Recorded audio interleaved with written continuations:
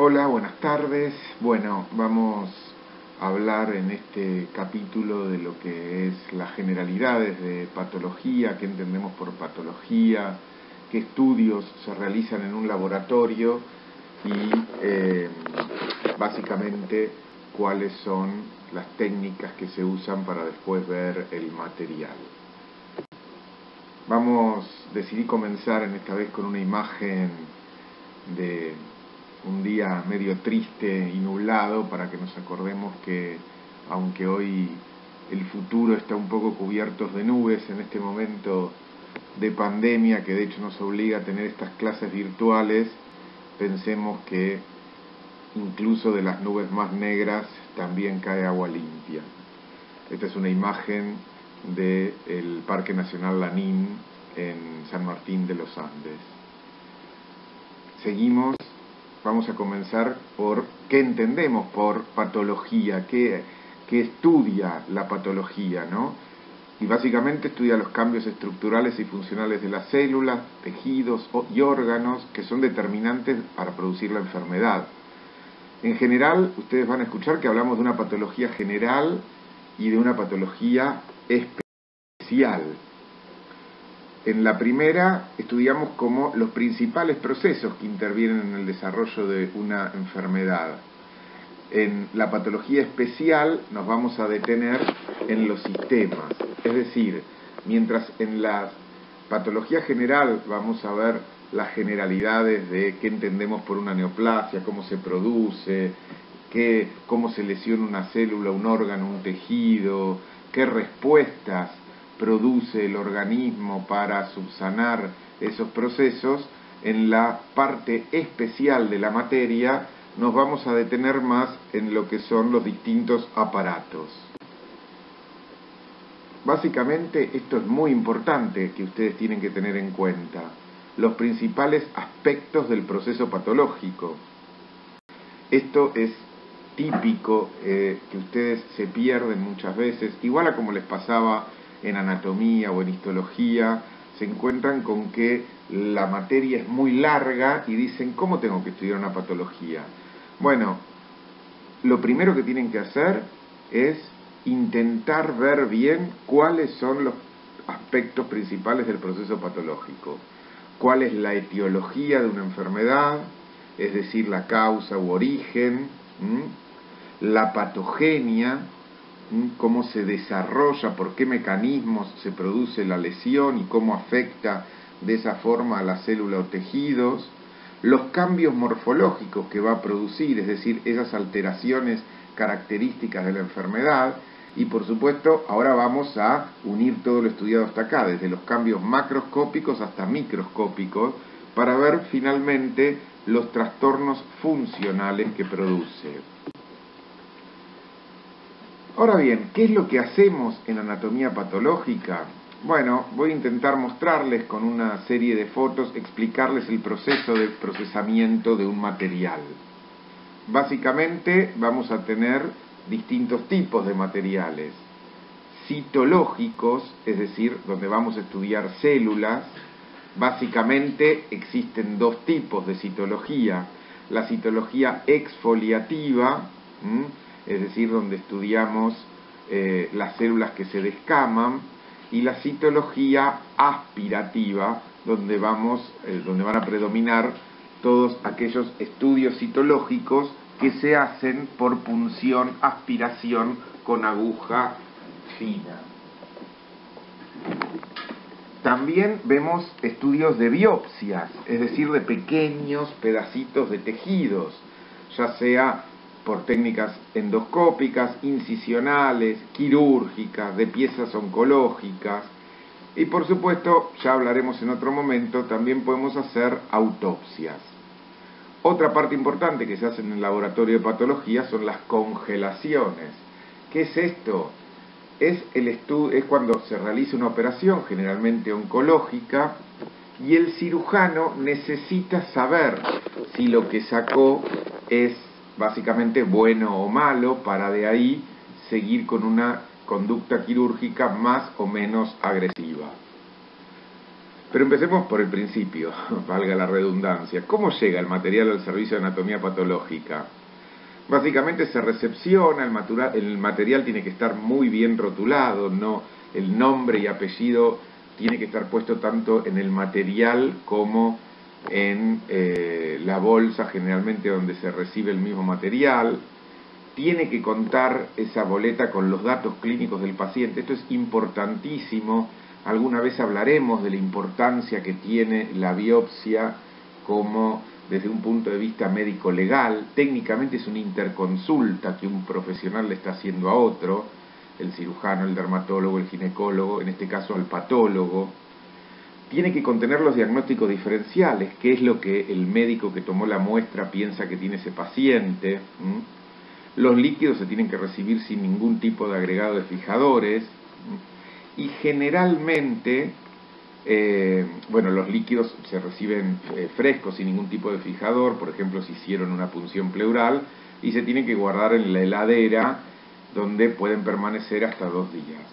Las biopsias, por ejemplo, no sé, operaron un apéndice y mandan el apéndice para estudiar la anatomía patológica, se reciben en formol, generalmente al 10 o 20%.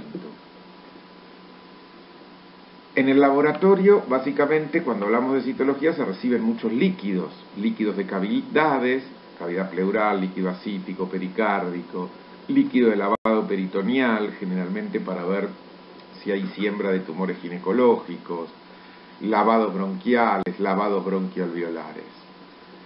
Bueno, acá tienen como la técnica recibe el material, generalmente se centrifuga porque aunque uno vea solo líquido, siempre hay células que descamaron en este caso.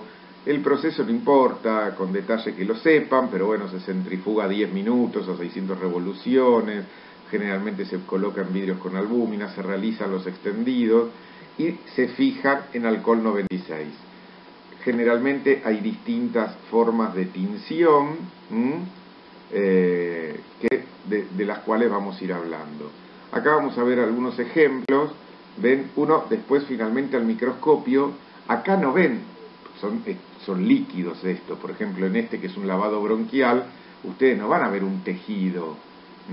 Ustedes en histología veían, no sé, pulmón, bronquio y veían un tejido y decían, esto es un órgano con determinadas características, tiene un epitelio. En los estudios citológicos ven células, como acá, células sueltas. Fíjense cómo en, el sector de abajo de la imagen pueden ver una célula con cilias incluso, y las características, y acá evaluar las características, si el núcleo eh, tiene una relación correcta con el citoplasma, si hay mitosis, etcétera, ¿no? Miren acá qué bien que se ven las células bronquiales con las cilias. Lo mismo cuando vemos líquido acítico, en este caso estamos viendo células mesoteliales reactivas del mesotelio, del peritoneo en este caso, con más o menos aumento para ver las características de los núcleos, si tienen nucleolo evidente o no, ya vamos a ir eh, más adelante a ver, eh, analizar esas características. Lo mismo en un líquido pleural, ¿no? Vemos células sueltas. El lavado bronquial veolar, bueno, se procesa diferente, no es tan importante, no es tan importante que lo sepan ahora, ¿no? Pero también vemos células sueltas. El líquido cefalorraquídeo tiene una particularidad para procesarlo, pero también vamos a ver justamente si es un líquido acelular o si tiene linfocitos o monocitos o es purulento, que nos va a indicar distintas cosas, lo mismo que en la orina, ¿no? Fíjense, en este caso estamos viendo células, esas células más rosaditas y las otras más azules, son células de epitelio plano estratificado que se descamaron, eh, puede ser del extremo distal de la uretra o incluso del mismo epitelio transicional. Con las biopsias sí nos vamos a detener un poquitito más. Acá ven, como en el video que también tienen en el canal, donde les puse como ejemplo cómo se procesa, en ese caso creo que habíamos hablado de cómo se procesaba una vesícula. Acá pueden ver cómo llega el material biópsico, ese pequeño pedacito que sacaron de eh, material y que están en esos frasquitos que cada uno está rotulado y aparte la boleta. El material en esos frasquitos está con formol. Uno del material incluye tacos, en este caso, por ejemplo, seguro es una eh, vesícula.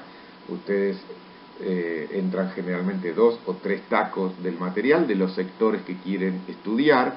Observen en este caso el material más alargado, ¿sí? Es eh, un corte donde podemos ver de un lado la mucosa y del más verdosa y del otro la cerosa y el otro también un cortecito de la mucosa, seguramente que le vieron también el ganglio cístico y lo eh, incluyen en ese cassette, como se denomina, que está por, perdón, vuelvo a la diapositiva anterior, donde va a pasar por distintos eh, líquidos. ¿Por qué? Porque la biopsia tiene que ser deshidratada, por eso se pasa por distintos alcoholes 96, después por alcohol 100, ahí pierde el agua que tiene ese pedazo de tejido, luego pasa por silol para perder ese silol y finalmente por parafina. ¿Mm? Eh, perdón, cuando pasa por silol queda ahí para perder la grasa, pierde la grasa también, ¿no?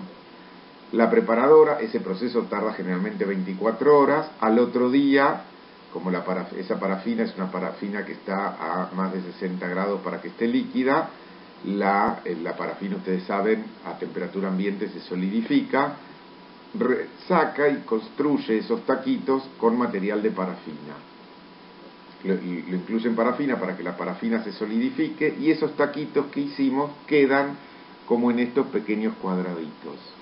Hoy, eh, incluso esta foto es un poquito más vieja, hoy en día eh, este, estos taquitos quedan adheridos a ese mismo casetito azul que vieron ustedes donde se incluía material. Hoy queda así como estos. Y esto es lo que las técnicas, ese taquito, es lo que las técnicas después colocan en un micrótomo para cortarlo con una aguja y hacer pequeñas capas de muy pocos micrones de espesor donde la parafina sirve de vehículo para esa, ese pequeño sector cortado del el tejido. Otro micrótomo, otra preparadora cortándolo y ese tejido, luego e, esa pequeña película se extiende en agua generalmente tibia y se coloca ese material sobre un portaobjeto. Como ustedes pueden observar, acá el tejido no se distingue, ustedes saben que las células no tienen color, después lo vamos a colorear pasándolo por distintas tinciones. Eso se hace en una batería donde hay distintos líquidos, depende de lo que querramos ver del material. Ustedes saben que hay distintas tinciones que se usan de rutina. Generalmente también uno le puede hacer otro tipo de técnicas. La que se hace de rutina es la técnica de hematoxilina eosina. Ustedes saben, la hematoxilina y eosina son dos colorantes con distintas características, uno es ácido y otro es básico, con lo cual el básico, que es la hematoxilina, va a teñir sobre todo las estructuras nucleares y la eh, eosina, que es ácido, va a teñir sobre todo los citoplasmas. Ese material, una vez teñido, se coloca un cubre objeto por encima y queda así como estamos viendo en esta diapositiva, rotulado con el número que le pusimos cuando dimos entrada al material para listo para que el patólogo lo vea a microscopio. Acá tienen las principales técnicas histológicas. Es importante que la mayoría de estas ustedes las eh, reconozcan. Eh, por ejemplo, no sé, la hematoxilina eosina, que es la que se usa habitualmente ¿Para qué es? Para ver justamente las estructuras tanto nucleares y citoplasmáticas mejor. el PAS, la técnica de PAS, es sobre todo para, em, para ver la membrana basal, El tricrómico es una técnica que utiliza distintos colorantes que marcan muy bien el tejido fibroso, útiles en algunas patologías como cirrosis o cuando queremos ver si hay cicatrización en alguna muestra. El sudam es una técnica que marca de distinto color la grasa. Tengan presente que esta, de las que están mostradas en esta diapositiva, es la única técnica que lleva una preparación diferente el material. ¿Por qué se les ocurre? Porque yo les dije que durante el procesamiento de las biopsias, el último paso antes de la parafina líquida es el silol. ¿Y el silol qué hacía?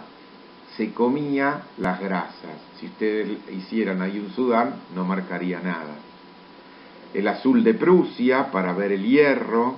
La técnica de Ciel-Nielsen para ver, por ejemplo, bacilos ácidos alcohol resistente, como es en el caso de la tuberculosis la técnica de Gram para estudiar las bacterias, y eh, colonias bacterianas que pueden ser gram positivas o gram negativas, el azul de toluidina, el grocot que también se usa para ver algunos microorganismos, la técnica de Boncosa que eh, está formada en base a nitrato de plata y que se utiliza para el estudio de la formación sobre todo de partículas de fosfato de calcio, es una variante de la tinción argéntica, el rojo congo que se utiliza para ver determinadas proteínas anómalas. Muchas de estas vamos a ver luego en algunas patologías específicas cuando se usan, ¿no? Este es un pequeño resumen de cómo se procesa una muestra.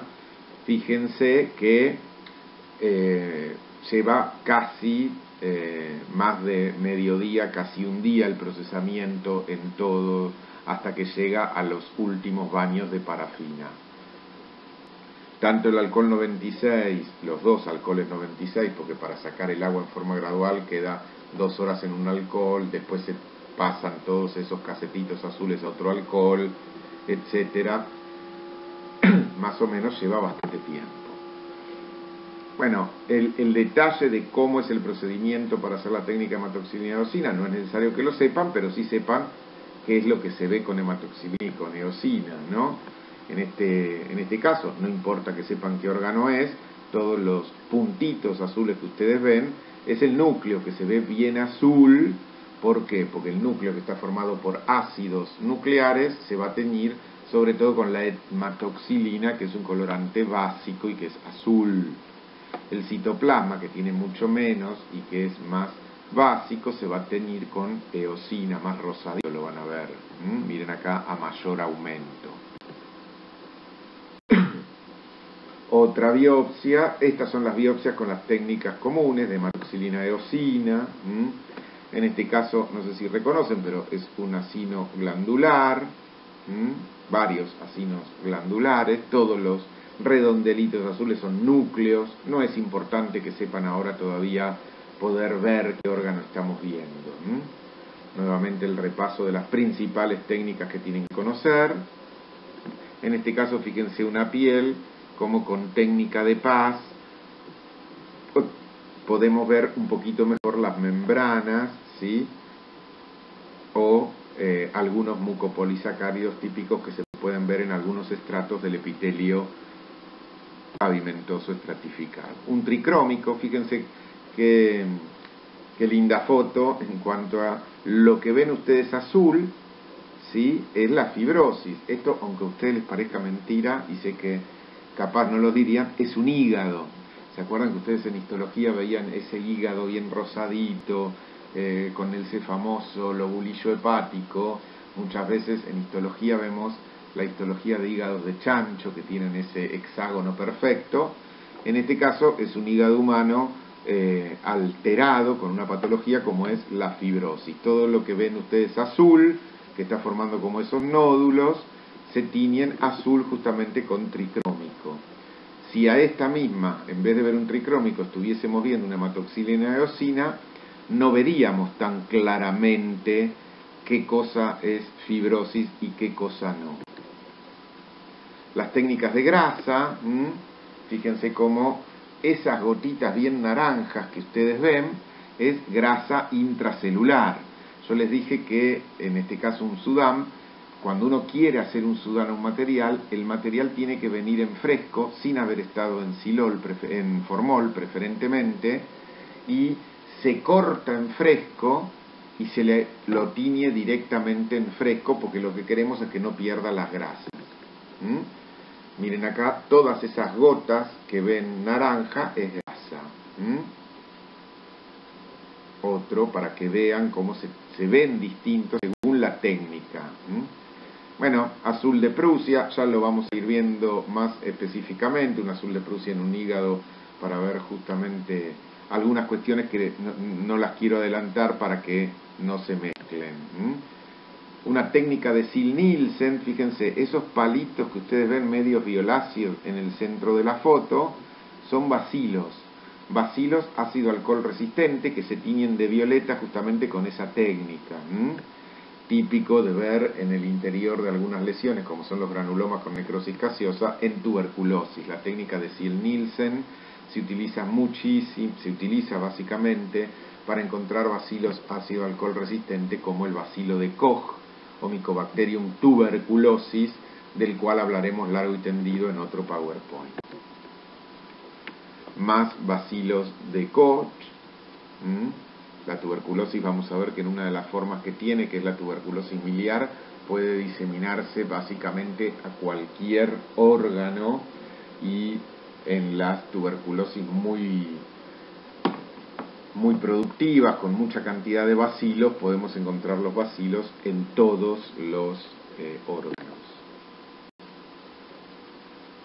Otra, miren acá abajo a la izquierda, esos palitos naranja, son vacilos. Técnica de Gram, e, e, esas manchas azules que ven ahí, está mostrando que eh, eh, son colonias bacterianas. Bueno, en este caso se ven más pálidos esos palitos que ya vamos a ver que son hifas micóticas.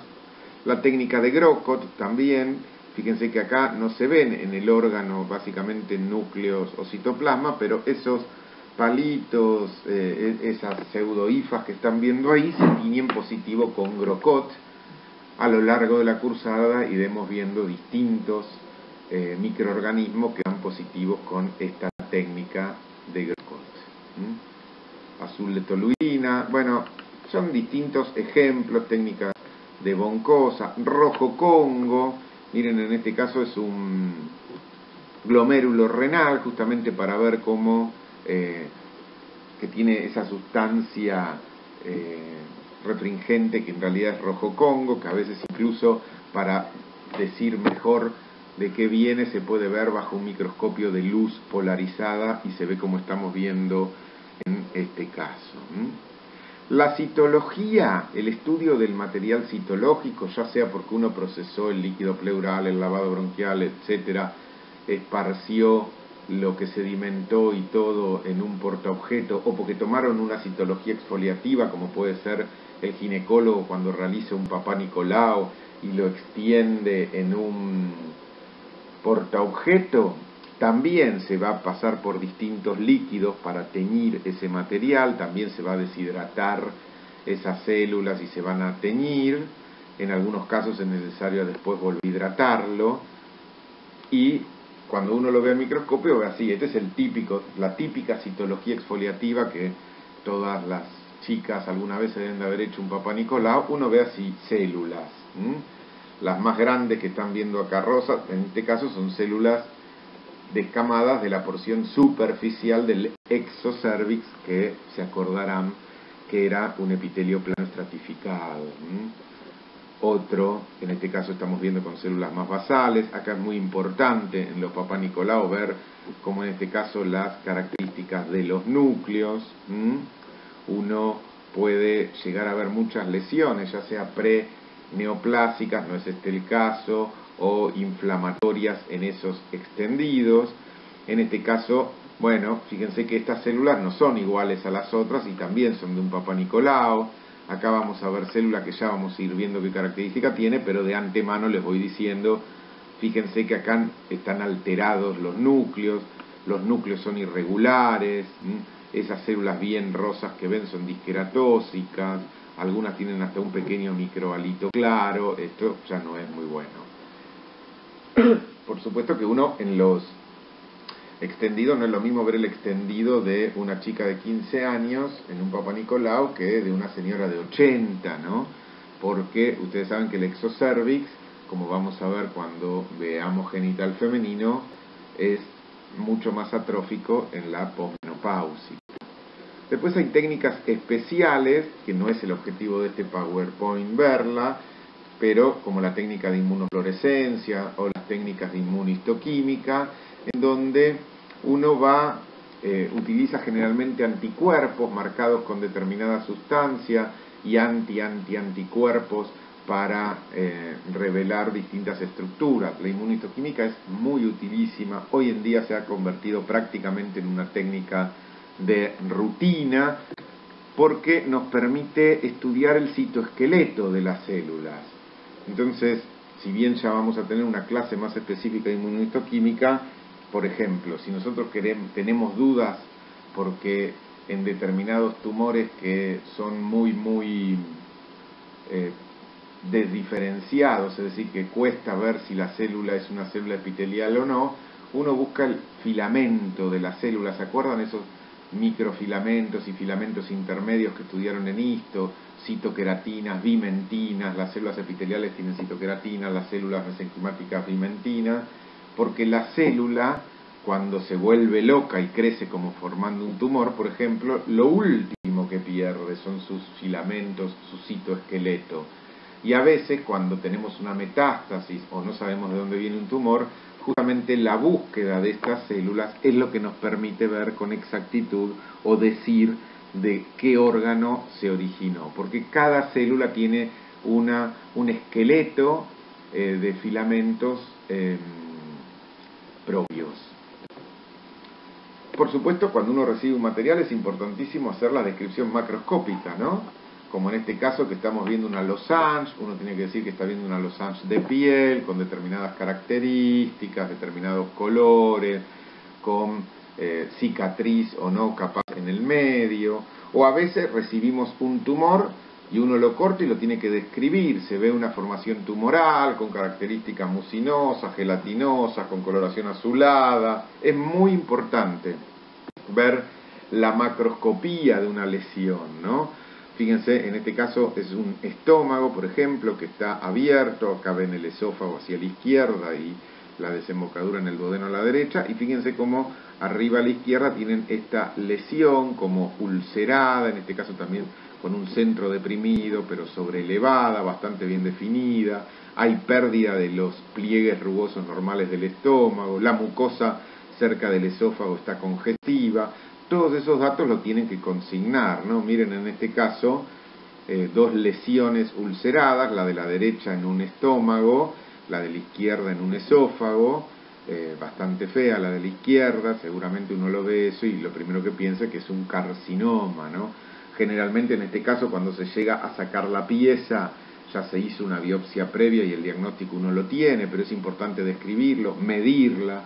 Es muy importante la medición de estas lesiones porque después va a influir en la estadificación de la muestra. Otra lesión en, un sector de, un esófago, esto si mal no recuerdo de la foto creo que era un, un leiomioma, un tumor benigno de la pared muscular. A veces uno recibe una pieza como puede ser una mama o algo tumoral y tiene que describir lo que ve, ¿no? Siempre hay que cortar el material también para hacer la descripción de qué encuentra al corte, en este caso este, todo el tejido amarillo que ven, sobre todo tejido adiposo, con tractos más o menos fibrosos. La descripción va a ser clave en cada material que veamos. Por último, antes de terminar esta pequeña clase introductoria sobre qué materiales vemos en anatomía patológica, a modo de resumen hasta ahora podemos decir que en un servicio de anatomía patológica vemos biopsias, citología, ya sea básicamente exfoliativa por descamación o por aspiración, por ejemplo, tienen un nódulo en el cuello porque es un ganglio y ustedes lo pinchan con una aguja y aspiran células. Y por supuesto dijimos que también hacemos autopsias o necropsias.